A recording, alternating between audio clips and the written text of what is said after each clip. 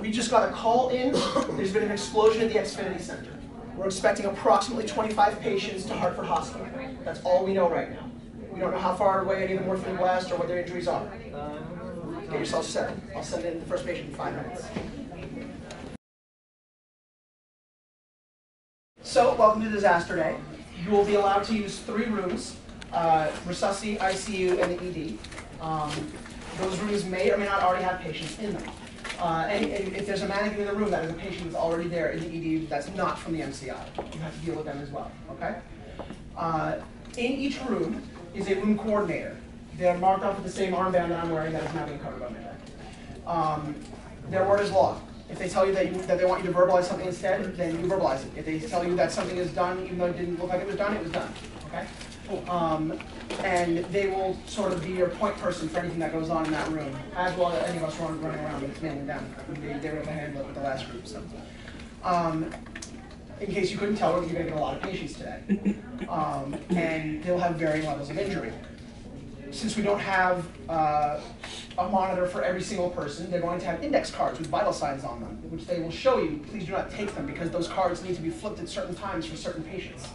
Uh, your job is to read those vitals and decide what to do based off of that. Some of these patients will need procedures. If you deem a patient needs a procedure, there, is, there are task trainers in the room that you will do the procedure on, at which point the patient will then flip their card if that's what needs to happen. The, the back of the card may have some new vital signs or some sort of change on it that you need to then address. Okay? Some cards flip up multiple times, so please be aware and, and you know use those cards as sort of if, if they haven't flipped it and the vitals stay the same. Okay? If you want any imaging, like an X-ray or a CT, or if you want like an EKG or anything, ask them for it. If that if it's supposed to be gotten on them, they will have it in their pocket to give to you. Ones are going to ED, Okay? is that right? So Where you're- two's you're going? to Take care of them. Two's are going to Okay. the um, resus bay. And three's ICU. ICU. And then a couple ones are going to stay with me to take care of. So the- one's in the green, but you're gonna take some. Rochelle, you're gonna have to draw people out I'm of, saying some of them you're gonna have to draw people out of the Out of the ED. ICU Yeah. Early on. Yeah. Or you know, because we're gonna do one's nothing in the ED, ICU right now. Two resus, three ICU. Three. One, two, three. Two. Three. One. Two. Three. One. So this patient was already here. Uh, they are being seen for urosepsis. Okay, so who wants to, someone should be ready to take care of this patient. I will, I'm gonna Okay, Okay, that, so I mean, Let's take care of this one. uh, you have a lot of people, so for now, let's have a couple of people on that, someone's, I can do the central line. Yeah. yeah. Run your sepsis algorithm. Help! Hello. Hi, this is. Help! Hi, hello. Can you take a deep breath? You guys look I'm breathing! Okay. Help me! Can you turn to the right, please? He's, he's walking. Okay, we're gonna take you right down the hall here, follow us. So you guys complaining of some left chest pain on there, uh, bruising, normal vital signs. Um, We're in UK right now, but she might She's get coming from triage or she's coming from another? from triage. She might We've got a BP of 60 over 40.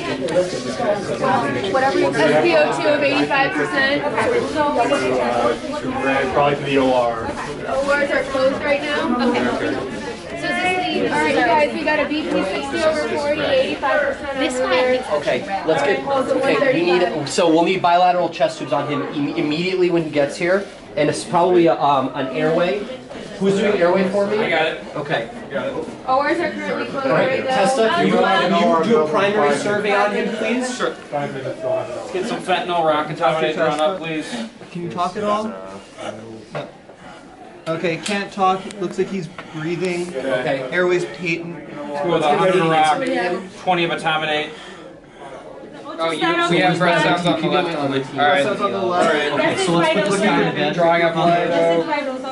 Okay, chest, Let's bang him up. let's, let's get him chest, going. let's, let's chest tube, chest tube on this side. This guy has airway burns, he's gonna need an airway immediately.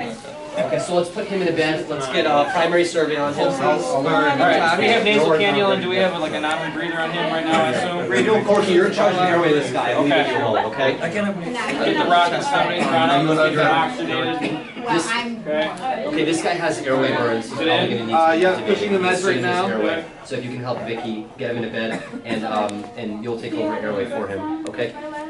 Can we get? Is the chest tube in? I got a finger Do we have a thoracostomy. rush of air here? Yeah. Okay. Can we get a repeat set of vital signs on this guy? Tesla, get a repeat set of vitals. Yeah. And start again your primary, Alright. secondary, tertiary survey. The rock, the time we need to push on this gentleman, he's intubated. How do we get a Okay, repeat vitals, BP 125 over 80, pulse 85. Okay. Somebody shut up. My wife is dying here. Shut up! I gotta sit down. I gotta sit down. Don't you wait here. Do you want to bring him upgrade him? This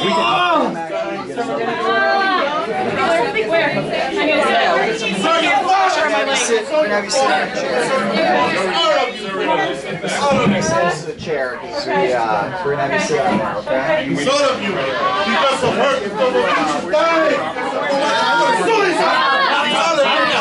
He's all of you. He's all of you. No, I'm going home. Because this bitch what she's done. Oh, wait, no, no, you're.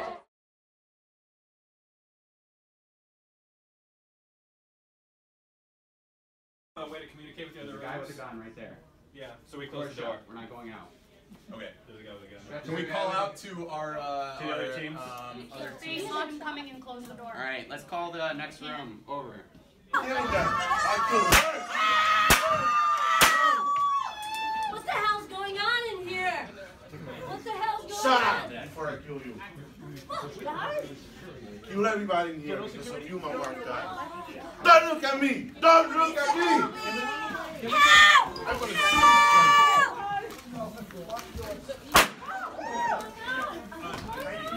Don't really hurt him. Someone tell me what's going on.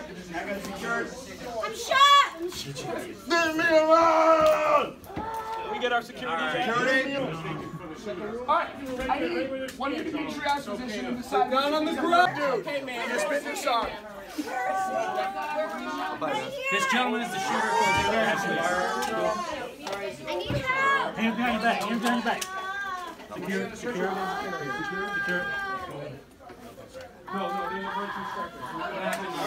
I know, I'm shot! I shot! Help me! I'm gonna kill you. Go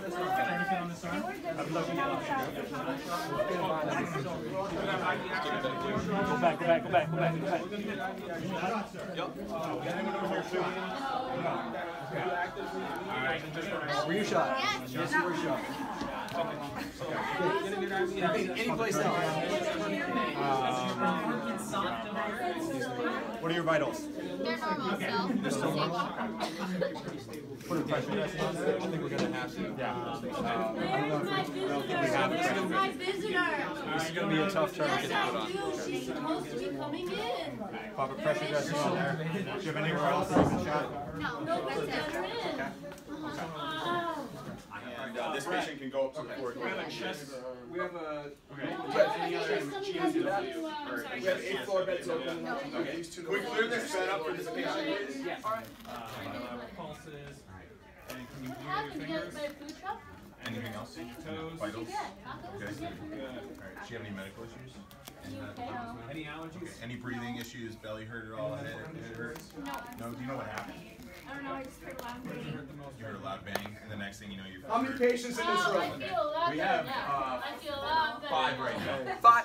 We have five, Joel. Five. Any stable to go to floor? Um, this one may be uh, stable to go to floor for uh, That's so you metacarpal okay with that? Um, This this, came in- this one is dead. What's your situation? Lockdown has been lifted, we are clear. Multiple people shot. Right, so it has to move to red. Who can't? So she's been shot in the arm. This guy. Laz, we have another gunshot over here. Arm. You got a pressure test on it. Yes, you do. Yes, you do. Did he do an ultrasound? When am I gonna get this thing off my leg? Not for a while. I need to get it off my leg, I'm on the phone. So you have a positive medication. Yeah. Okay. Uh, you need to go to the RX. I'll tell you you're going to go. What'd you think? Uh, it was uh, it was challenging. It was good. It was a good, uh, really good drill. We put in a lot of chest tubes.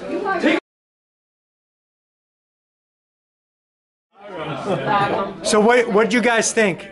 Crazy. Just crazy. So much fun. I wanted to keep going. I wanted to make this more. Yeah, it was sick. So you wish that this was all of your training, but I think actually get to a point where you're a little bit outside your comfort zone, which is why we push and then push and then push. Because at first it just looks like a busy day in Blue Green with a few reds thrown in, and then all of a sudden, all yeah. What we're gonna do is we're gonna do a two-part debrief. I'm gonna have the law enforcement officers come back in, both public safety and Hartford Police, and I want to talk with them a little bit. Um, and just so you guys know, the officers that responded did not know what the case was. They were as much in the dark as you guys were. Um, and I want to have them chat about what they noticed and some behaviors that they thought were a little unsafe potentially. And then they're going to go for 10 minutes, and then Stan and I are going to do the medical debrief after that, okay? So I thought you guys did well. I mean, very chaotic, and you know, it was kind of different to see the blue suit come through and then hear gunfire go off. Probably some of you noticed that you didn't even hear some of the gunshots. It just sounded like small pops. That's not This is where we, we need to mentally prepare for a scenario of how are you going to respond. And this is a great opportunity for what we call stress inoculation, to put yourselves into a stressful situation in a training environment where it can be controlled. So if God forbid you are ever put into a situation like this, your stress level, you'll be able to manage it a lot better than if you were going into a cold. Okay, so now you've already got the wheels turning, thinking about, hey, what if, what if? Awesome. Uh, big thanks to everyone who put it together, um, especially Dave Ruby, uh, along with all of the actors who were, who were great in their parts. So thank you. This was fantastic. What was so awesome about it? Um, the realism of it, the, the actual pace of it, what it made you think about, and um, really kind of compartmentalize when and if it actually happens, God forbid.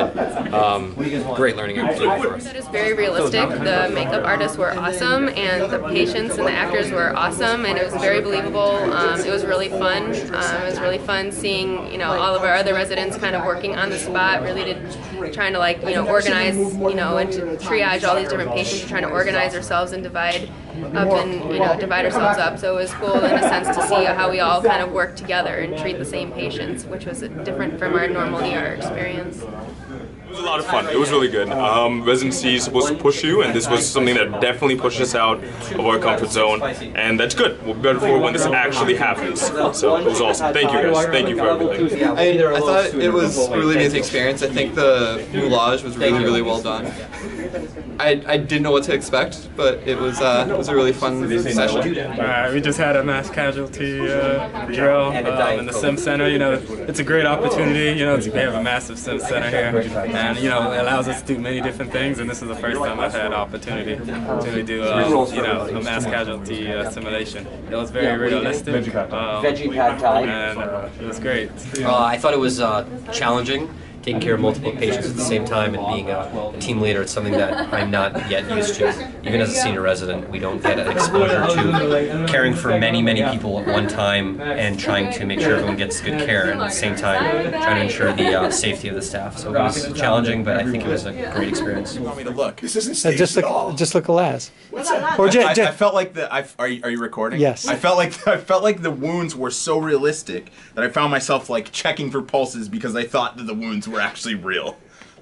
Did, did you? What did you think about the session in general? Oh, I thought it was, it was amazing. It was it was a lot of fun. It was it was a totally new and unique experience. And I think you know, in this day and age, it's it's not unheard of for someone to show up in the hospital with a gun. So what I wanted to do was do a double. Uh, double sort of attack on this. I wanted to have the residents be prepared to deal with a mass casualty incident, which is certainly not unheard of. But we also wanted them to know what to do when there's an active shooter in the building. And we've had that ALICE training, and that's all well and good, but being able to apply it is a whole different story, especially in a stressful scenario. So what we wanted to do was really stress them out with what sounds like a real gun and see what they would do. And I think we got some fantastic reactions from them today. And I really think that we were able to teach them some good and bad behaviors in that regard, as well as discuss proper ways to allocate resources in a mass casualty incident. And I think that really furthered their learning in that regard.